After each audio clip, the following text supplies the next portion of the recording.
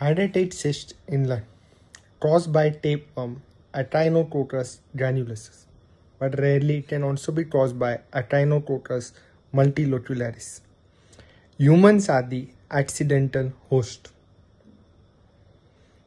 Acquired by infection in uh, dogs by contact with the infected dog. First larva goes into duodenum, then to the blood of the human, liver, which is the most common side, and then to the lung. Let's describe the hydatid cyst. It consists of three layers pericyst, ectocyst, and endocyst. Let's first discuss pericyst. It is a fibrous capsule which is formed by compression of adjacent lung tissue whereas ectocyst and endocyst are the wall of the cyst itself. The complication can be bacterial infection or it can rupture into pleural cavity. Therefore, manifestation or complication can also be seen. Thus, in short, pericyst is formed by our human and lung tissue which forms the fibrous capsule around it, whereas the ectocyst and endocyst are formed by the cyst or the organism itself. Let's see the imaging of hydatid cyst. It can be divided into two parts, unruptured or ruptured means ruptured means any layer can be ruptured. First we'll discuss unruptured. It is asymptomatic, homogeneous, oval, round, sharply or well defined and in CT it can be it is cystic and there will be daughter cyst or septa present. The most important point is that there is no calcification seen. Remember liver hydatid there will be calcification but lung hydatid no calcification. It can be single or multiple. Therefore, what are the features? Well defined homogeneous oval round uh, lesion with no calcification. Let us see the x-ray features. First all the black spots on the chest x-ray. These are the lesions. Let us see how many lesions. There are multiple lesions. And in ct also we can see that these are round or oval lesion.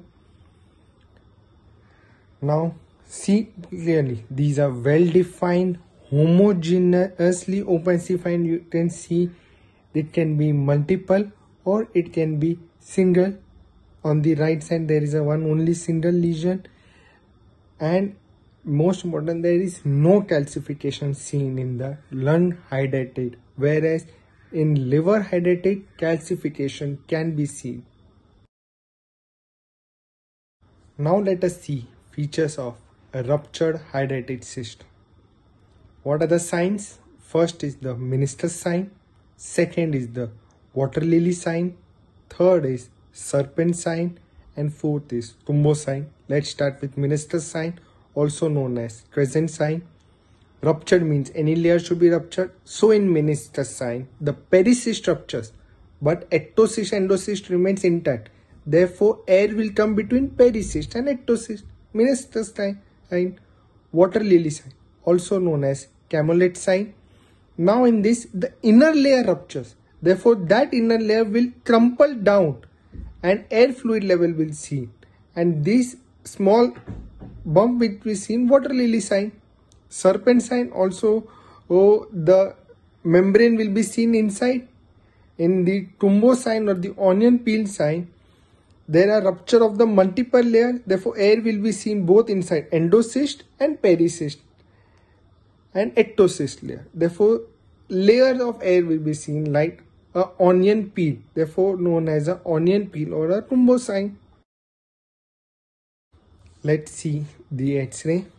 Here we can see a small crescent shape of black color air and in CT also it can be seen. This is meniscus sign when only pericyst has ruptured and it has air has come. See without the diagram also. Now let us see second sign, water lily sign. We have drawn the diagram. air fluid level and some bump same in the x-ray we can also see in the ct also where air where the level is seen and some bump same the diagram this gives appearance of a water lily therefore it is known as a water lily sign. The inner layer is ruptured and fallen down with air fluid level giving the appearance of water lily which we see without drawing also. Now if many layers will rupture air will accumulate between layer giving an onion peel sign. Here you can see the drawing where we can see a layer of air same if we see on the lateral let's say also we can see that air fluid level black arrow and one drawing the highlighted portion. Here the air has been accumulated in multiple layer which is giving an onion peel appearance. You can see in without drawing also. As you can see in this there is a, a air fluid level and the arrowhead is showing that the crumple membrane is inside. It can be seen either on CT or on X-ray. This is a serpent sign. There are other also sign described where we can see now a well-defined lesion and here the highlighted portion where the crumple membrane is so a sunrise sign. But the basic uh, the basic thing is that if a layer gets ruptured air will accumulate in any of that layer and it can go down forming a serpent layer or it can be water lily sign or meniscus sign Let's draw the diagram of lung. First, unruptured, which is homogeneous, oval, well defined, no calcification. Let's start with the ruptured one. First, meniscus sign if pericyst ruptures.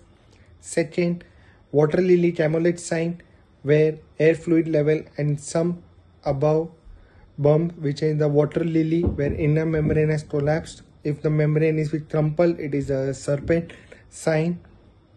And the last is Cumbo if multiple layer has been ruptured or the onion peel sign